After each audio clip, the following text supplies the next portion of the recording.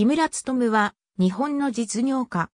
ラーメンチェーン店、天下一品を運営する株式会社天一食品商事他天下一品グループの代表取締役。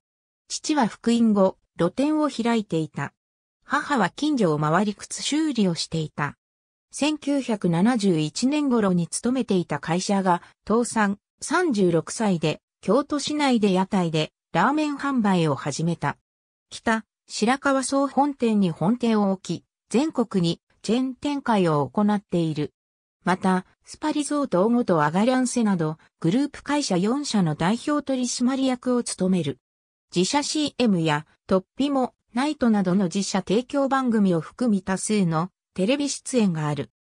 2011年1月17日には毎日放送が制作したドキュメンタリー番組天下一品物語からすべては屋台から始まったを関西ローカル番組として深夜時間帯に放映した。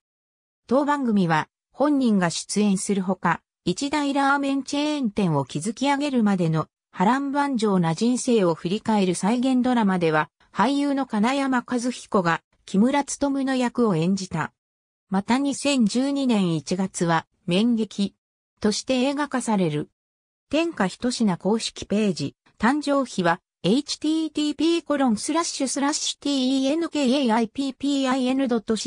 co。jp スラッシュストーリー .html2010 年5月31日閲覧。AB、トッピモナイト2011年4月29日放送。天下一品に、慰謝料命令広告代理店に、示談金供用。共同通信。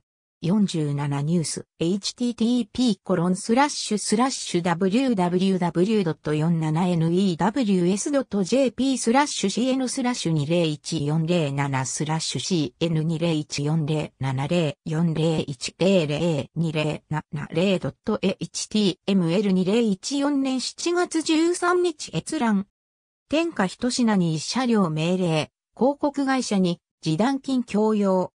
読売オンライン、http www. 読売、cojp、大阪、ニュース、2014万705よ 1t5 万22、html2014 年7月13日、閲覧、ありがとうございます。